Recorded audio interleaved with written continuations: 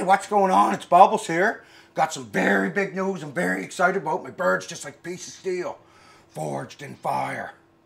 a few years ago, Julian brought this big fancy DJ, Marc Mysterio, into the Dirty Dancer to try to get more ladies in there.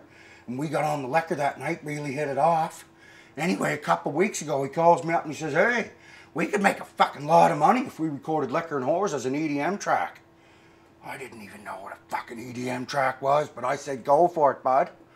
So we got an EDM track, and I'm going to play you a little sample of it, but I need your guys' help now because shit's getting serious.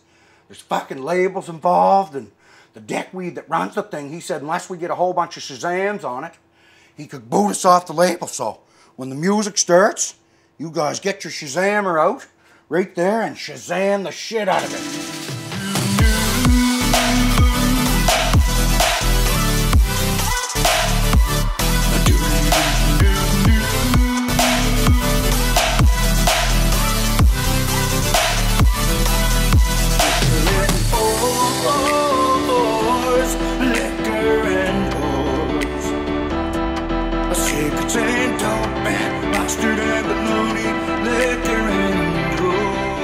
That asshole from the label also said we need millions of players on Spotify, so I really need your fucking help here because I got kitties to feed.